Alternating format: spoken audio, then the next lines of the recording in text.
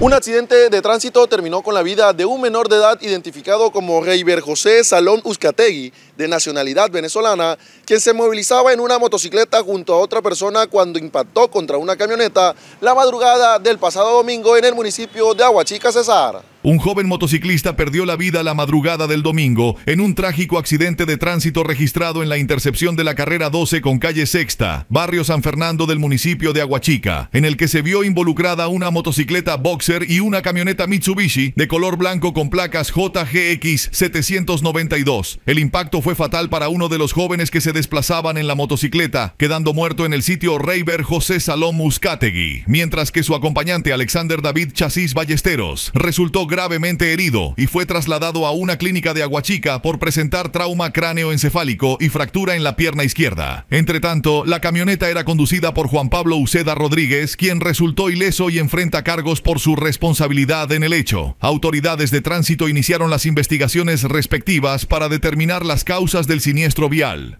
Se presume que hubo invasión de carril por parte de alguno de los conductores, además del exceso de velocidad por la transitada vía. Presuntamente la víctima regresaba a su vivienda al momento de registrarse el fatal accidente.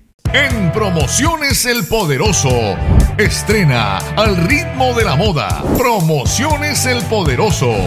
Jeans, blusas, camisas, pantalones y la mejor variedad como siempre en Promociones El Poderoso. Ah, y para los niños también. Promociones El Poderoso. Estamos ubicados frente al Parque de las Almojábanas, La Paz Cesar. Promociones El Poderoso.